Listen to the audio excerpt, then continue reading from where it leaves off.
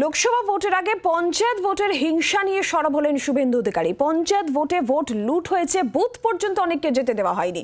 লোকসভা নির্বাচনে কেন্দ্রীয় বাহিনী থাকবে। নির্ভয় ভোট দেওয়ার বার্তা দিয়েছেন বিরোধী দলনেতা। কি বলেছেন? শুনুন। এই রাজ্যে পঞ্চায়েত পুরসভার ভোট প্রহসনে পরিণত হয়। এই রাজ্যে আগের পঞ্চায়েত তো ছেড়ে দেন আঠারোর। এই তেইশের পঞ্চায়েতে চতুর্থ দফায় লুট হয়েছে। নমিনেশন ফাইল করতে আটকেছে, ভোটের দিন বুথে লুট করেছে, গণনার দিন গণনা কেন্দ্রে ঢুকতে দেয়নি, লুট করেছে। এমনকি যে কটা পঞ্চায়েত বিরোধীরা জিতেছিল, সেখানে প্রধান উপপ্রধানেও নির্বাচন করতে না দিয়ে গায়ের জোরে দখল করেছে। এই দখলের রাজনীতি করতে গিয়ে পঞ্চায়েতে পঞ্চান্ন হাজার, পঞ্চান্ন জন মানুষ খুন হয়েছে পশ্চিমবঙ্গে। আমাদের দায়িত্ব যাতে শান্তিপূর্ণ ভোট হয়। চটি পুলিশ থাকবে না। মমতা ব্যানার্জির চটি চাটা, রাজীব সিনহা, মমতা ব্যানার্জির পোষ্য তিনি করতে দেননি। কিন্তু এই নির্বাচনে ইতিমধ্যে এক লক্ষ পঁচিশ হাজার কেন্দ্রীয় নিরাপত্তা বাহিনী বরাদ্দ করেছেন। রাজ্যে সাত দফাতে নির্বাচন হবে এবং প্রত্যেকটি বুথে ন্যূনতম ছজন কেন্দ্রীয় বাহিনী দাঁড়িয়ে থাকবে। তাই এই নির্বাচনে মানুষ তার নিজের ভোট দিতে পারবে। এরই পাশাপাশি বিরোধী দলনেতা শুভেন্দু অধিকারী তিনি নির্বাচন পরবর্তী হিংসা নিয়ে সরব হয়েছেন। পঞ্চায়েত ভোটের পর বিজেপির সাতান্ন জন কর্মী খুন হয়েছেন, এই দাবিও করেছেন বিরোধী দলনেতা।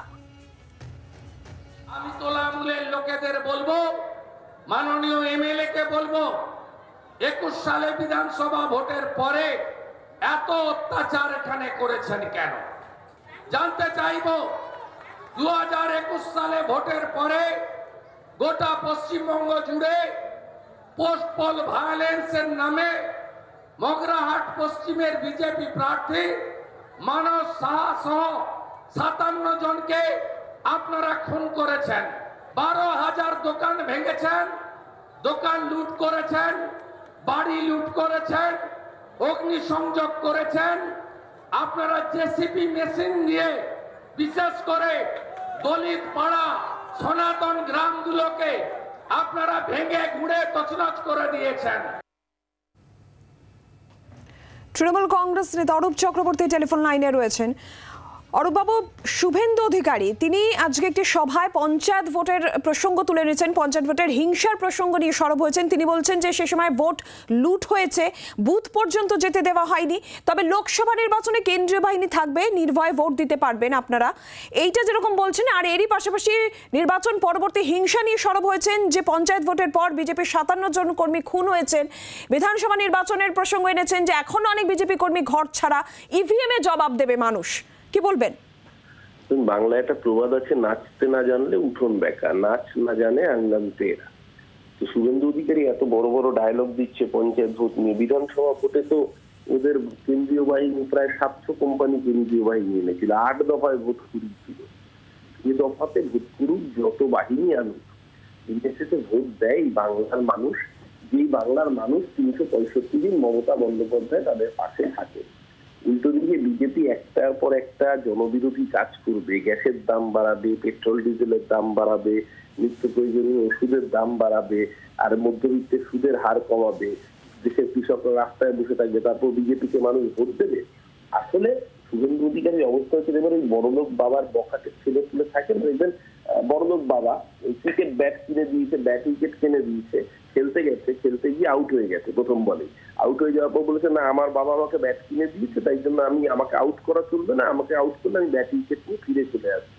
শুভেন্দুর হচ্ছে সেরকম অবস্থা। ইলেকশন কমিশন আমার হাতে ইডি আমার সিবিআই আমার, তাহলে কেন আমি আউট হয়ে নির্বাচনে ফিরে ফিরবো? আমাকেই জিততে হবে। যেহেতু আমাকে বুঝতে পারছে না, বাংলার মানুষ যেহেতু ওকে অপছন্দ করেছে, বাংলার মানুষ যেহেতু ওর দলকে প্রত্যাখ্যান করেছে তার জন্যই প্রতিহিংসার রাজনীতি।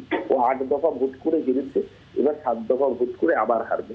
আগের বার অমিত শাহ বলেছিল ইসবার দুশো পার, গঙ্গা পার পেরোতে পারেনি বাংলার মানুষ। এবার বলেছে, আপনি বার পঁয়ত্রিশ পার, এখন পঁচিশে এসছে। পঁচিশটা ক্যান্ডিডেট খুঁজে পাচ্ছে না।